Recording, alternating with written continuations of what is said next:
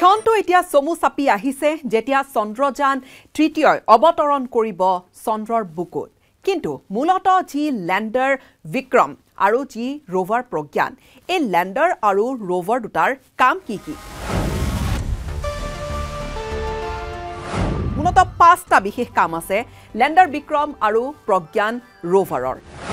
আৰু এইখিনি কথা এই মুহূৰ্তত আপোনালোকৰ বাবে লৈ আহিছোঁ। নমস্কাৰ স্বাগতম জনাইছোঁ মই গীতাশ্ৰী। যিহেতু আমি সকলো সেই মুহূৰ্তখিনিলৈ এতিয়া অধীৰ উৎকণ্ঠিত হৈ আছোঁ যেতিয়া তেইছ আগষ্টত সন্ধিয়া ছয় বাজি চাৰি মিনিটত চন্দ্ৰৰ বুকুত অৱতৰণ কৰিব টাচডাউন কৰিব লেণ্ডিং কৰিব চন্দ্ৰযান তৃতীয়ৰ বিক্ৰম লেণ্ডাৰে। কিন্তু সেইখিনি সময়লৈকে ইছৰোৰ আধা কামহে হ'ব। পৰৱৰ্তী কামখিনি আমাৰ চাইণ্টিষ্টসকলে আমাৰ বিজ্ঞানীসকলে ইছৰোৰ যিখিনি পৰৱৰ্তী কাম সেয়া অত্যন্ত গুৰুত্বপূৰ্ণ। সেই কামখিনি আৰম্ভ হ'ব আৰু সেই কামখিনি চন্দ্ৰৰ এটা দিনত অৰ্থাৎ আমাৰ পৃথিৱীৰ হিচাপত চৈধ্যটা দিনত ইছৰোৰ চাইণ্টিষ্টে ইছৰোৱে কৰিব লাগিব। আৰু ইয়াৰে অন্যতম গুৰুত্বপূৰ্ণ কাম হৈছে বিক্ৰম লেণ্ডাৰৰ প্ৰজ্ঞান ৰোভাৰৰ চালনা। এই সময়ছোৱাখিনি অৰ্থাৎ এই চৈধ্যটা দিন আমাৰ পৃথিৱীৰ হিচাপত এই চৈধ্যটা দিন আৰু লুনাৰ ওৱান ডে অৰ্থাৎ চন্দ্ৰৰ এটা দিন এই চৈধ্যটা দিন বা চন্দ্ৰৰ এটা দিনত এই সময়ছোৱাখিনিত এই প্ৰজ্ঞান ৰোভাৰক চলোৱা হ'ব আৰু এই প্ৰজ্ঞান ৰোভাৰে বিভিন্ন ধৰণৰ কাম কাজবোৰ কৰিব।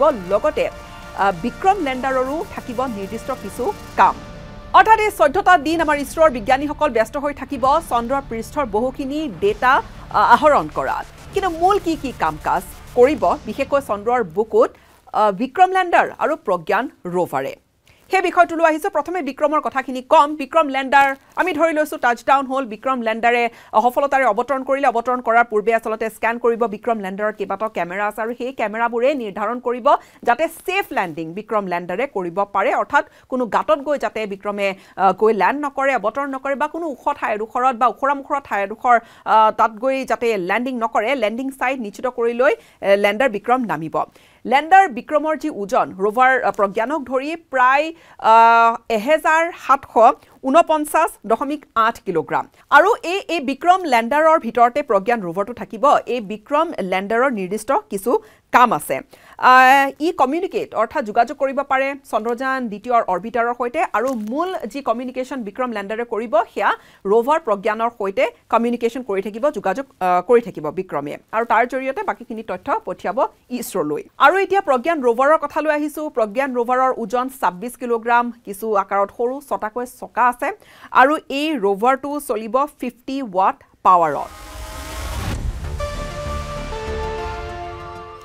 এতিয়া মূল কি কি কাম কৰিব? পেলোড এই মুঠ যি বিক্ৰম লেণ্ডাৰত তিনিটা পেলোড আছে অৰ্থাৎ তিনিটা চাইণ্টিফিক ইনষ্ট্ৰুমেণ্ট আছে আৰু বিক্ৰমৰ লগত থকা ৰোভাৰ প্ৰজ্ঞানৰ আছে দুটা পেলোড দুটা চাইণ্টিফিক ইনষ্ট্ৰুমেণ্ট এই যন্ত্ৰপাতিৰ পাঁচটাৰ নিৰ্দিষ্ট একো একোটা উদ্দেশ্য আছে আৰু সেই উদ্দেশ্য লৈয়ে চন্দ্ৰলৈ এই অভিযান কৰা হৈছে। যি উদ্দেশ্য আচলতে পূৰণ কৰিবলৈ এইকেইটা দিনৰ প্ৰয়োজন হ'ব বা এইখিনি সময় ইছৰোক লাগিব।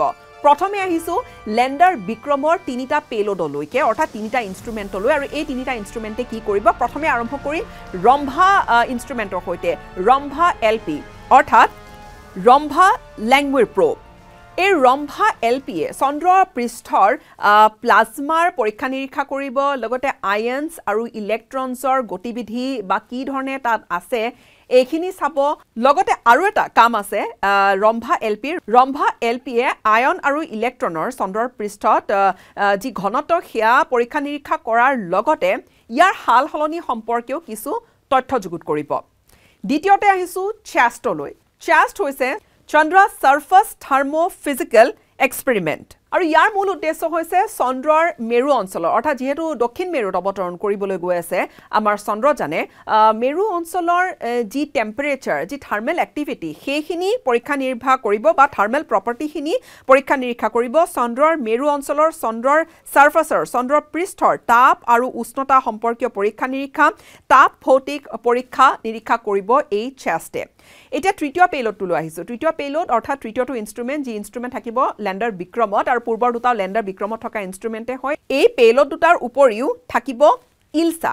ইলছা হৈছে instrument for lunar seismic activity. Seismic activity অৰ্থাৎ আমি ক'বলৈ গ'লে যি ভূমিকম্প সম্পৰ্কীয় যিখিনি তথ্য পাতি।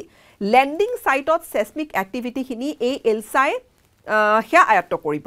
লগতে চন্দ্ৰৰ গঠন চন্দ্ৰৰ উপৰিভাগ ক্ৰাষ্ট বুলি যাক কোৱা হয়। ওপৰৰ তাৰ পিছৰ যিটো তৰপ মেণ্টেল বুলি যাক কোৱা হয় ইয়াৰো কিছু তথ্য পাতি ল'ব ডিলিনিয়েট কৰিব অৰ্থাৎ কেনেকৈ গঠন কৰা হৈছে সেইখিনি তথ্য পাতি পঠিয়াব ইলছা নামৰ এই তৃতীয়টো ইনষ্ট্ৰুমেণ্টে যি ইনষ্ট্ৰুমেণ্ট বিক্ৰম লেণ্ডাৰত থাকিব। আৰু এতিয়া আহিছোঁ প্ৰজ্ঞান ৰোভাৰৰ ইনষ্ট্ৰুমেণ্ট কেইটালৈকে বা পেলোড কেইটালৈকে। মূল প্ৰজ্ঞান ৰোভাৰত দুটা পেলোড আছে আৰু ইয়াৰে প্ৰথমটো পেলোডৰ সম্পৰ্কে আপোনালোকক ক'ম সেয়া হৈছে A P X S A P X S হৈছে আলফা পাৰ্টিকেল এক্স ৰে স্পেক্ট্ৰমিটাৰ। এই পেইলটোৰ বা এই ইনষ্ট্ৰুমেণ্টৰো এই যন্ত্ৰটোৰো বিশেষ কিছু কাম আছে আৰু সেয়া হৈছে গঠনটো কেনেকুৱা? ৰাসায়নিকভাৱে কি ধৰণে গঠন হৈ আছে চন্দ্ৰৰ পৃষ্ঠ চন্দ্ৰৰ মাটি সেইখিনি তথ্য ই আহৰণ কৰিব। কি কি খনিজ পদাৰ্থ আছে বা কম্পজিশ্যন কেনেকুৱা সেইখিনি তথ্য যুগুত কৰিব এই বিশেষ যন্ত্ৰটোৱে বা বিশেষ পেইলটটোৱে।